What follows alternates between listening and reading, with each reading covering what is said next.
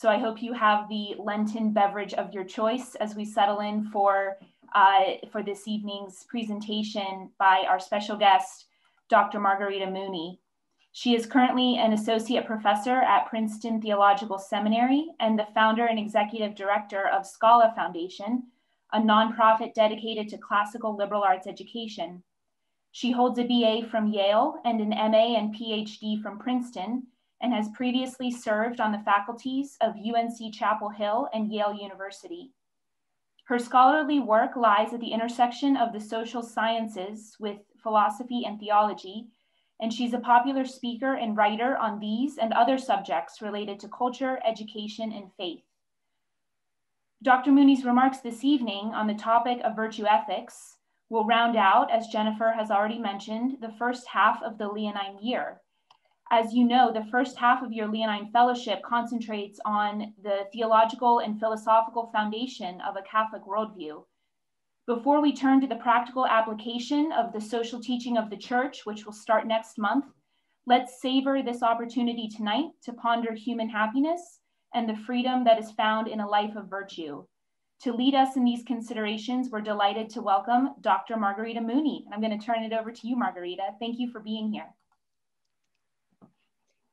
Thank you. It's a real pleasure to be here with you tonight. And I wanted to focus my talk tonight on three things. I will go over some basic points of Catholic moral theology and I'll connect this topic to why I think this is so important, not only for your own knowledge and your vocations, but as a way of being a witness to a world that is enveloped in a lot of fear and darkness right now. And I'm going to do this in the following manner. I will share with you a little bit of my own journey as a student of psychology and sociology and how I've always been interested in this topic of resilience, how people overcome adversity. My work has taken me to battlefields in Central America, to the living rooms of political dissidents in Cuba, to rural areas in Haiti. And most recently, I did an interview project with young adults in the United States who had experienced some forms of trauma. And it was precisely those projects that led me to study the Catholic tradition of moral philosophy and theology in order to better do the kind of social science I cared about. Because I kept seeing that people are seeking happiness and fulfillment, but sometimes lack clear guidelines to differentiate happiness from mere pleasure, or they're groping for a way to find joy even while undergoing suffering, which can't always be cured. So, a lot of my work focuses on the importance of returning to the study of metaphysics, the study of being, why we even exist to begin with, what are the goods we're created for, and how that can help people to find strength in the face of injustice and suffering, and ultimately find hope to go on. I'll share with you some insights on these questions from Pope Leo, from Servais Pinckaers, great moral theologians and leaders. Um, and also I'll link that to the work of Craig Stephen Titus on virtues and resilience. Titus was a PhD student of Servais Pinckaers, and he's dedicated his work to continuing this line of moral theology in the Thomistic tradition and connecting it productively to the fields of psychology and counseling, helping to establish programs in moral theology and psychology at Divine Mercy University. And I'm going to conclude by sharing some examples from a young man who I knew that lived the, vir the virtues heroically, known to some of you, John Artunian um, who exemplified how fortitude and hope and eternal life can sharpen each other. As I do this lecture, I want to encourage you to be thinking about three things. One thing I want you to be thinking about is how does this understanding of the connection between the moral life and happiness that I'm going to discuss, how does this differ from what you may have learned elsewhere about what happiness is or what morality is? I also want you to be thinking about, as I describe the cardinal virtues of prudence and temperance, fortitude and justice, as well as the theological virtues of faith, hope, and charity, I want you to be asking yourself What is one virtue you feel called to grow in right now? And are there ways that you have experienced that the cardinal virtues and the theological virtues reinforce each other? Also, I want you to be thinking about how to apply these insights in this strange times during the COVID pandemic when our normal routines and relationships have been interrupted. What are some ways that you could intentionally reach out to other people who need virtuous friendship right now?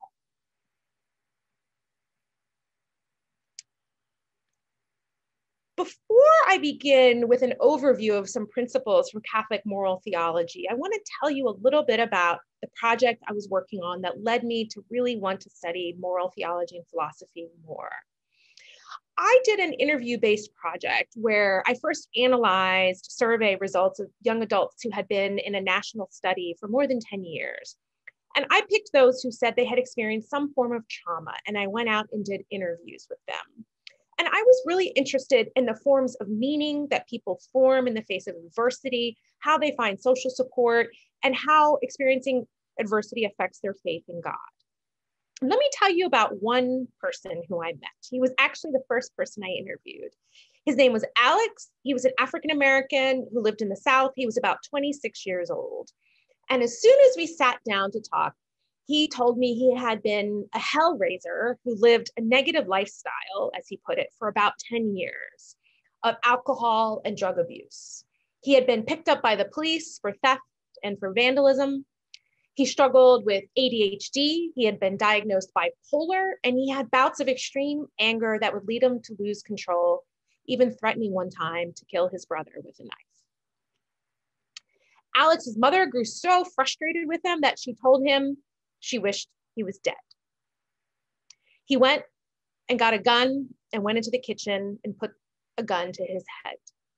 And his mother told him, Please go ahead and do it. I'll throw a party and bring some cake. Alex put the gun down, but has never forgotten how horrible that felt.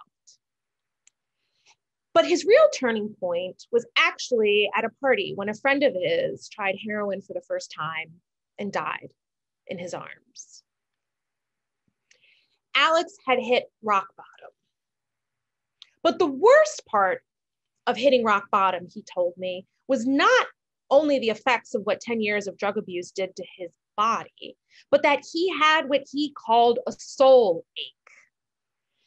He couldn't really desire anything anymore. He just wanted to think about nothing, not care about anything. He said his soul was just dead. The only thing that got him out of this soul ache was returning to the Baptist church of his childhood. And what he said about returning to church, I thought was so interesting because he said that while he was in his partying lifestyle, he had a lot of fun and he thought he was happy, but that happiness only lasted for a few hours and then he would either get into a fight or end up really hungover.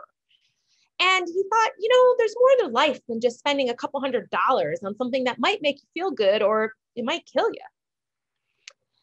And he decided he really wanted to find a kind of happiness that was going to last.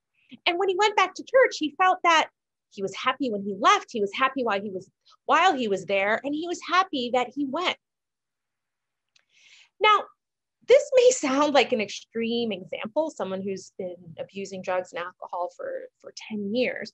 But what I thought was so interesting about Alex, who had been through the criminal justice system, who had been through the mental health system, he was asking questions that those systems are not designed to answer. He was asking basic questions that all of us face in different degrees and in different ways. Why do I exist when I have problems that I may never overcome? Can we learn from our mistakes and even grow from them morally? And is there a lasting source of happiness that's distinct from a pleasure that wears off?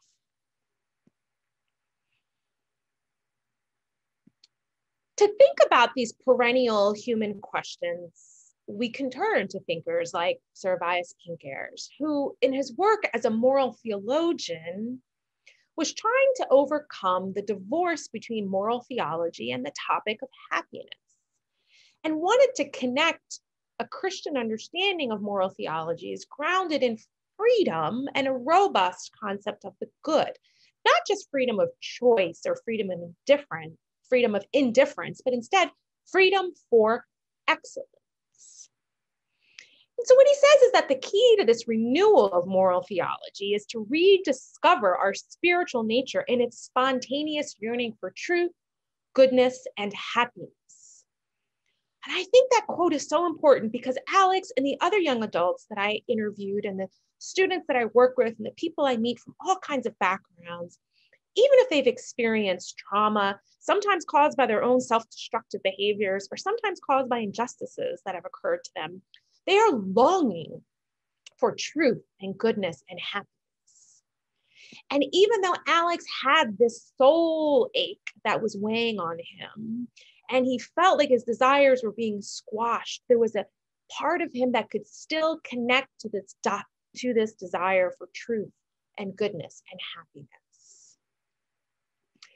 So Pinckaers goes on to describe that, well, you know, how did we end up losing this sight losing sight of this question of happiness? Well, on the one hand, William of Ockham wanted to get rid of our of the idea as the human person is even having a natural inclination to the good. And he replaced that with this idea that our basic nature is to make choices itself, leading to this freedom of indifference. Immanuel Kant was concerned that our desires for happiness are really just egotistical, self interest, and hedonistic. So he defined the good life as really an ethics of following obligations, duties. One way or another, what we ended up with was a kind of utilitarianism. What's good for us is what's chosen freely or what gives us pleasure. And it was precisely this, this narrow understanding of human freedom that kept stumping me in my work because it was very clear when you talk to people like Alex that they're making moral judgments about right and wrong, good and bad, even if in their own lives they're not living up to it. There is a sense that there is an absolute truth and a moral right and wrong that goes beyond pleasure or simply being able to choose what one feels like in a moment. So, what Pinckaers is trying to do is connect the choices or feelings we have back to moral goods in the spiritual life. So, what I found in reading Catholic moral theology that I found was missing implicitly in the philosophy underlying so much of the social sciences I studied was what Pope Leo tells us about in his essay on human liberty that human beings are indeed creatures with instincts, but we also have reason. And also, this idea that human beings are wounded and sinful, but we don't need to be a fatalist about that because as Christians, we believe that we can grow and heal and improve. And part of that growth and improvement is growing and knowing what the good is so we can freely choose it. And finally, you know, Pope Leo also talks about we can't divorce human reason from divine law. Human reason is not the supreme principle and the source or judge of truth. And again, you know, this is coming from Catholic tradition. And I've only given you one example, but I could tell you of many more examples of people that I've spoken to from a variety of backgrounds who, in layperson's terms, affirm again and again that there's a kind of transcendent truth that goes beyond their personal truth or their choices. And I find also that Pinckaers going back to him for a moment, you know, he he hits on one of the central problems that I kept encountering in my work, um, in my training in sociology and psychology, that somehow, because we focused what's good on pleasureful, then what about pain? Pain becomes the opposite of pleasure, the opposite of good. Whereas Pinckaers points us to a deeper tradition in moral theology where, where actually joy can be born of trials and of pains endured. That there's a kind of joy that comes from accepting suffering with courage and love. Pleasure is brief and variable and superficial, Pinckaers says, but joy is lasting. Like the, like the excellence and like the virtues that engender it. Joy is communicable and it grows by being shared. And it was this joy that someone like Alex was looking for and distinguishing from the pleasure that he once had in his hell raising party lifestyle. Now, turning further to the Catholic tradition, as explained in the Catechism of the Catholic Church, talking about the virtues, you know, what is this term virtue? Well, a virtue is an habitual and firm disposition to do the good. The virtuous person tends towards the good and chooses it in concrete actions. So, in other words, human virtues are firm attitudes, stable dispositions, habitual perfections of intellect and will that govern our actions, order our passions, and guide our conduct according to reason and faith. The virtues make, make it possible for ease and self mastery and joy in leading a morally good life. The moral virtues are acquired by human effort, and they are the fruit and the seed of morally good acts. Then the tradition of the Catholic Church, as explained in the Catechism, goes on to talk about four cardinal or, or, or central human virtues of prudence, justice, fortitude, and temperance. Prudence is the virtue that disposes practical reason to discern our true good in every circumstance and to choose the right means of achieving it. Prudence is like the measure or the rule of our inner conscience. It, it helps us apply moral principles to concrete cases. Justice is the moral virtue that consists in the constant and firm will to give their due to God and neighbor. We have justice towards God and justice towards our neighbor. Fortitude is the moral virtue that ensures firmness in difficulties and constancy in the pursuit of the good. And interestingly, in his work on the virtues, the psychologist Martin Seligman has found that this virtue, fortitude, courage, is present in every major wisdom tradition and um, uh, religious tradition. Fortitude, sometimes courage, it's, it's present across traditions. These are human virtues that are recognized by all major wisdom traditions and religions. Fortitude is important to help us conquer fear, even fear of death, and face trials and persecutions. With fortitude, we can even have the courage to renounce and sacrifice our very lives in defense of a just cause. Finally, the fourth cardinal virtue is temperance, the moral virtue that moderates the attraction of pleasures and provide balance and provides balance in the use of created goods. Temperance helps us acquire mastery over our instincts and keeps our desires within the limits of what's honorable. Now, as I mentioned, these, these human virtues can sometimes be found under different words in different traditions, but the Catholic Church also talks about the theological virtues, those virtues that help shape our human faculties for participation in the divine life and community with the Trinity. Those virtues, faith, hope, and charity. Faith is the theological virtue by which we believe in God and believe all that He has said and revealed to us and that the Holy Church proposes for our belief. Hope is the theological virtue by which we desire the kingdom of heaven and eternal life as our happiness. Placing our trust in Christ's promises and relying not on our own strength. Let me pause here for a second because I think that this point about hope as a theological virtue by which we desire the kingdom of heaven and eternal life as our happiness, placing our trust in Christ's promises and relying not on our own strength helps correct what I see as an often as a as a limitation of the psychological sciences when taken by themselves because sometimes the psychological sciences, when taken by themselves, seem to call on people to find somehow infinite strength within themselves. And believe me, nobody who I've interviewed or known well thinks that inside of themselves they have infinite strength.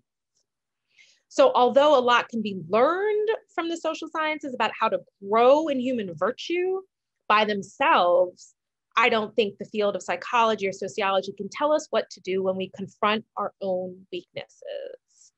but this virtue of, or if we confront unjust situations or frankly confront our own death. But this theological virtue of hope directs our desires to desire the kingdom of heaven because our complete happiness is in eternal life. So, hope is really key because it helps us purify our desires and order them to the kingdom of God. And hope helps sustain us during times of desolation and can open up our heart in expectation of eternal beatitude. Remember the Beatitudes Blessed are those who suffer, for they shall be comforted. Hope allows us to experience joy in the midst of trials. Hope is a weapon that protects us in the strength of salvation. Finally, the third theological virtue is charity. The theological virtue by which we love God above all things for his own sake and love our neighbor as ourselves for the love of God. Again, recalling the scriptures from Paul, charity is patient and kind. Charity is not boastful or rude. Charity does not insist on its own way. It is not irritable or resentful, does not rejoice at wrong, but rejoices in the right. Charity bears all things, believes all things, hopes all things, endures all things. The theological virtue of charity, I think, is also extremely important to correct another limitation of some versions of psychology that essentially help people to see themselves as victims and teach people the ways in which the actions of others have harmed them and the ways that they need to, to correct or call people out for their failings. But again, if you bring in the Catholic moral theology and virtue ethics, and we acknowledge that all of us have shortcomings and all of us have failings. And even if we're hurt by people close to us or people that work with us, Catholic moral theology, this understanding of charity as a theological virtue, this understanding that we can participate in the divine nature helps us to soften out some of our natural inclinations to want to have absolute perfection with the people around us and to be able to forgive people who have harmed us and find patience even in the face of wrongdoing. So it's extremely interesting that as the field of psychology has returned in some in some ways to want to talk about things like forgiveness and mercy it has almost had to go back to this tradition of moral theology and virtue ethics to ground that. And there's many different trends within psychology. I've mentioned a few of them. I mean, sometimes you get the sense that we're meant to pull ourselves up by our bootstraps. Other times you get the sense that we're passive victims of injustice all the time. But then there's also a rebirth in psychology of actually wanting to engage with these questions of moral theology so that we can talk about things like forgiveness and mercy and patience.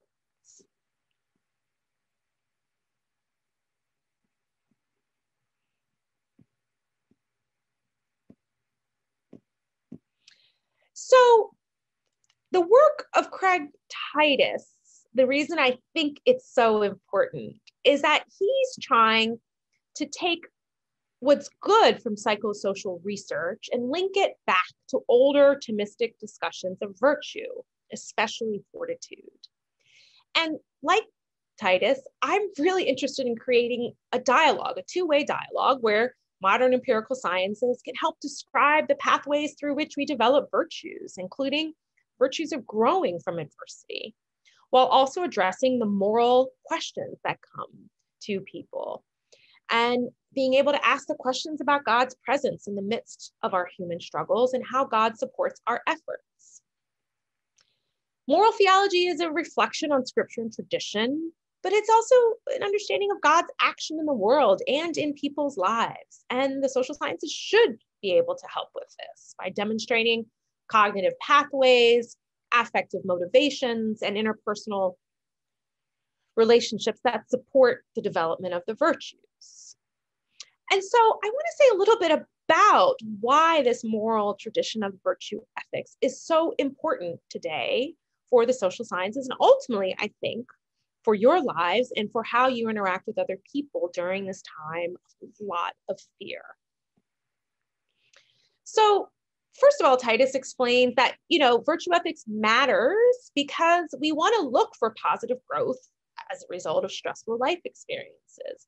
And we can learn from studies on resilience how to grow in love and patience and forgiveness and fortitude as a result of the of uh, traumatic experiences we may experience. But in addition, Titus talks about something he calls integrity resilience. And I think this concept is extremely important because when suffering or when going through hardship, people need to retain a sense of personal coherence and a sense of, of being able to have a unity in their identity when they're feeling disintegrated because of physical injury, mental distortions, or damage to, to social bonds or other capacities. So, for example, going back to the to this anecdote about Alex that I shared, the trauma that that he had experienced went beyond simply the biomedical or the physical or the psychological, and it affected his very sense of his own identity and his sense of personal integrity. Titus also talks about how the theological virtues could help us keep our patience when suffering from incomprehension and disrespect of others. When seen in the light of the suffering of Christ, our sacrifice and our suffering can take on a new meaning and help us conform to the truth and live by our conscience, even when misunderstood by others. And this this this patience this this forbearance even i think is extremely important given the emphasis in some versions of psychology to help us see ourselves as people who are fundamentally victims of injustice and passive in face of suffering. But to live these virtues we need the gifts of the spirit including humility about our own failings. We need to be willing to sacrifice ourselves and we need to ultimately be willing to embrace even forms of suffering that we didn't choose and have fortitude in the middle of difficulties and delay self gratification in order to serve others.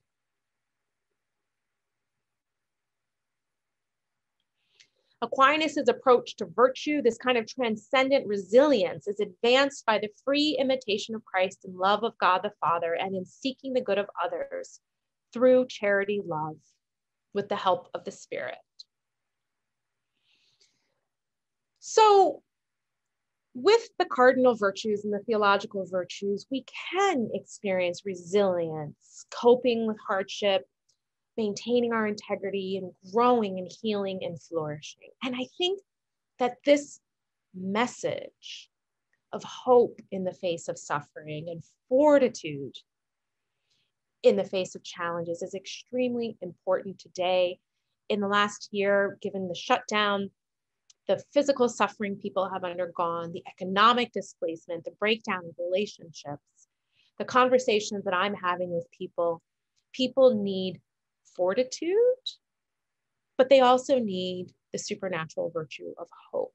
They need to believe in eternal life in order to believe that God is going to help them and give them strength and complement and work with them through the through their natural virtues to strengthen them and endure through hardship. This virtue of fortitude is related to endurance and to taking risks. Um, and I want to just close with a story that I will share with you about a person who, as I mentioned, lived these virtues, I think, to an heroic degree, someone known to many of you or just some of you, John Artunian. In the last year of his life, I was blessed to have many conversations with John. And the reflection that I wanted to share with you was how John faced his diagnosis with both the human virtue of fortitude and also with the supernatural virtue of hope. And one of the things that, that Titus is trying to show and Pinckaers and all of the readings that we are discussing tonight is how the supernatural virtues, the theological virtues, and the human virtues strengthen each other. When John was first given his cancer diagnosis, I expected him to recover. Um, and of course, he needed, um, of course, he needed the human virtues of fortitude, but we weren't really thinking in terms of eternal life. We were just thinking that he was going to have a tough battle with cancer and recover and go on being a fellow of the Leonine Forum and a student at Columbia and recover from this. But after about a year, he was given a diagnosis that there was no medical treatment left for his cancer, and he was expected to die within a year to five years. And I was truly astounded uh, when we met in New York and discussed that John had a sense of peace about the end of his earthly life. And he accepted that if God had given him a vocation to sacrifice, to lay down his life, that even if he didn't understand why, he would accept that cross. As his illness progressed, John needed to grow in the virtues of virtue of fortitude and hope because he became very sick and he suffered a lot physically. And in some of our later conversations, John admitted that he was afraid, he was facing fear. When it became clear that he was not going to, not only that he was not going to recover in the long term, but that death was approaching, I met with him in the hospital. And after we lamented and cried, we talked about eternal life. And at this point, it this was real. This is what he was looking at um, in the relatively near future. And what I told John that day was to remember all of the discussions that we had had when things were calmer and before his disease had progressed. That in the end, our ultimate beatitude and our ultimate happiness is in communion with God. And if he was going to reach that a lot sooner than any of us had ever anticipated, that I hoped that he would endure his sufferings that had been given to him endure them with fortitude and with joy. And what I saw in John in the final few weeks of his life, and what his mother has shared with me, and also his father, um, that John embraced his cross. And I actually saw this, this transformation in him, that he was experiencing joy and beatitude in the midst of his suffering. And at, at the time this was happening, it was difficult to put into words because I was afraid. I didn't want John to die.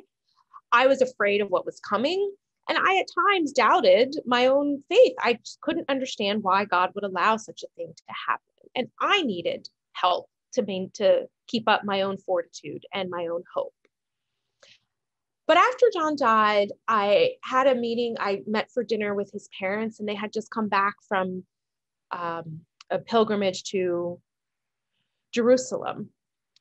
Because, and this is, I think, the lesson that I want to share with you. Again, John dying young at the age of 26 is an unusual event, but I think there was a lesson in that for me and a lesson for us to learn, which is precisely that this human virtue of fortitude and the supernatural virtue of hope in the face of suffering are a tremendous witness in a world that is engulfed in the fear of darkness. There are a lot of people out there who, for one reason or another, are facing some kind of darkness, some kind of existential crisis, some kind of loneliness, some kind of anomie, some kind of alienation, and don't know where to turn. And John inspired me to be able to face the darkness with even greater joy than I than I had before. And he also influenced his parents. Um, John's father had a very deep experience of God during his trip to Jerusalem and was taken home to God a few months later because of COVID. I've since met with John's mother many times, and we've had discussions. She even told me that as John grew nearer to the end of his life, that he was already looking towards that eternal life and in some ways was no longer even attached to this world. And the witness of that, the witness of having human fortitude And supernatural hope in the midst of suffering is something that I want to challenge each and every one of you to think about how you can do that in your own environments. In the past week, I gave another, I was a moderator on a panel about suicide. You know, what else do you do on Valentine's Day than meet in New York with a psychiatrist, a comedian, and an existentialist philosopher to talk about suicide to thousands of people watching us on YouTube? I'm a YouTuber, as my six year old niece says it. Well, you wouldn't believe the kinds of conversations I've had by telling people I spent Valentine's Day with an existentialist philosopher, a psychiatrist, and a comedian talking about suicide. People want to talk about darkness. I said this the following day, still trying to figure out what had happened, but I shared it with a woman who is my massage therapist. I had a car accident five years ago and I have chronic neck pain. And I mentioned this to her. She said, Can I see the YouTube? And I said, Sure, I'll send it to you. And then she tells me her boyfriend has thought a lot about suicide. The reason being that maybe not unlike Alex, he lived a hell raising life as a teenager. He dealt drugs and he made a lot of money dealing drugs. And some people showed up at his house with a gun to steal the money. When his mother tried to stop them, they shot his mother in the head in front of her children. And this woman's boyfriend has never forgiven himself and has thought about suicide ever since that and I simply said to her, We need to have hope in eternal life. That God is good and somehow he can make that right, even though it was a horrible thing to happen. And she said to me, You know what? I do have faith in God, and I do believe the dead are still with us. Because I had an abortion 30 years ago, and I have thought about it every single day since then. I've never been able to have children, and I've had pain in my pelvis ever since that day. But you know, one day I fell asleep on my couch, and when I woke up, someone was in the room. It was a young man. And she said, he looked like my boyfriend that I had when I had the abortion. And it later dawned on me that that was my son. And I said to her, Thank you for sharing. Um, and she said, You know, I've just learned as I've gotten older, it's better to talk about the darkness and to let it out. But I do have faith and I believe in a good God. So, what I'm telling you is that to summarize, this, this Catholic moral tradition is not only something for Catholics. It's a way of thinking through these perennial human questions that I started us off with. You know, why do I exist at all? Can we learn from our mistakes and even grow from them? And is there a lasting source of happiness that's distinct from pleasure? And what I've tried to share with you is how the human virtues of fortitude, firmness in difficulties and constancy in the pursuit of the good can be sharpened by this theological virtue of hope, where we desire the kingdom of heaven and eternal life as our happiness. That kind of hope you cannot get in a pill, and you cannot get it from therapy. People are looking for a kind of hope that is bigger than they than what anything can get in this than they anything they can get in this world bigger than any kind of momentary pleasure. And people are looking for a meaning to their existence that helps them have this kind of integrity resilience even when they're coping with tremendous difficulties. And so what i also you know tried to share with you by by giving that example of john is that when living these virtues and growing in them, the fruit of these virtues, as we know from Galatians 5, the fruit of these of, of charity and the fruit of living the virtues is a life of love and joy and peace and patience and kindness, goodness, faithfulness, gentleness, self-control. And right now, I think that living a life of virtues, having the knowledge of what those virtues are, but being a witness whose life exemplifies the fruits of the Spirit joy, patience, kindness, goodness, faithfulness is going to put you into a position to lead other people to grow in these virtues through your friendship with them and through your love for them and your prayer for them. So I want to remind you of the questions that I started us off with to think about how this understanding of morality as, as intrinsically related to our happiness, freedom for excellence, contrasts with an understanding of happiness that's simply about choice or pleasure. And how this understanding of morality and happiness and freedom for excellence can help make sense of how suffering and pain can help us to grow in the virtues, not just take away from us. And think about your own life. What are the virtues that you need to grow in? And how can the theological virtues of faith, hope, and charity strengthen the human virtues of prudence, temperance, fortitude, and justice, as well as vice versa? And please think about ways that you can intentionally reach other people who need virtuous friendship. A lot of people have told me that in the time of COVID, the social isolation has been kind of good for them because sometimes not having to interact with a lot of people makes life easier.